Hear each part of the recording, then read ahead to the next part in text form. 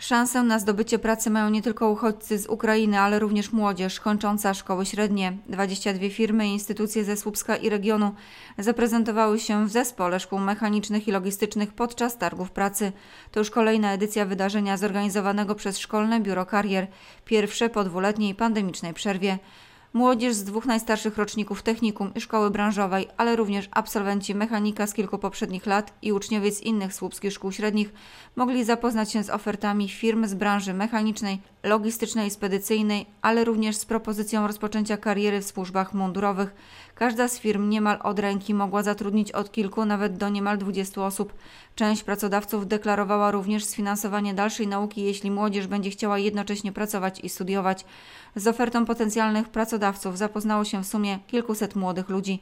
Część z nich umówiła się już na rozmowy kwalifikacyjne w siedzibach firm i niewykluczone, że tuż po zakończeniu szkoły rozpoczną tam pracę.